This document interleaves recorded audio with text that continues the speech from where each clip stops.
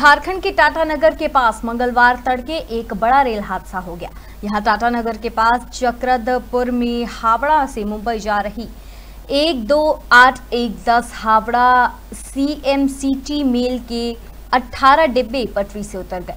इस हादसे में कम से कम दो यात्रियों की मौत, जबकि 50 लोग घायल हुए हैं। हालाँकि रेलवे की तरफ़ से इसकी आधिकारिक पुष्टि नहीं की गई है।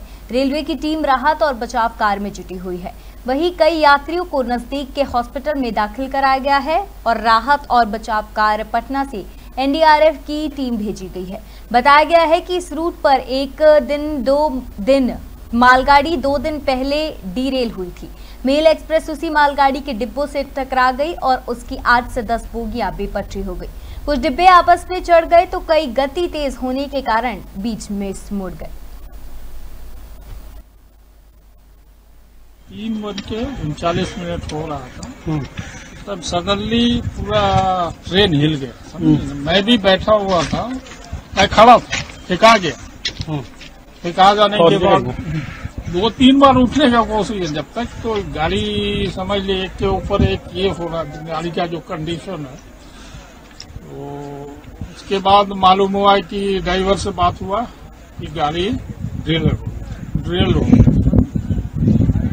उसके बाद मैंने उतर के देखा तो सब पैसेंजर लोग भी उतरने लगे और रात काफ़ी अंधेरा था। अंधेरा होने के कारण समझ में नहीं आ रहा लोगों को, किधर जाए, क्या है। मैंने इस आपका सिक्स से देख रहा सब गाड़ी। हो जबकि एसी का तो बहुत बुरा ही हाल है। और लोग काफ़ी इंजोर्ड थे। करीब चार बज के दो मिनट में।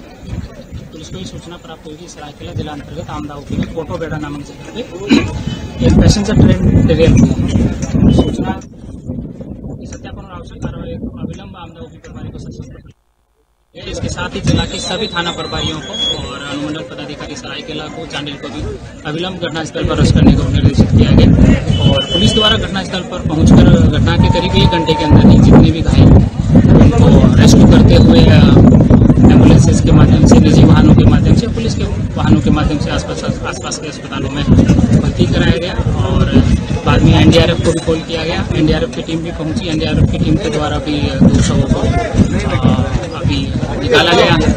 इसके साथ ही पुलिस मुख्यालय के द्वारा भी सी मुसाबनी से आईआरबी से जैब सिक्स से भी करीब 300 की संख्या में फोर्स भेजी गई और जमशेदपुर जिला बल से और चाईबासा जिला बल से भी अविलंब यहाँ पे करीब 200 की संख्या में फोर्स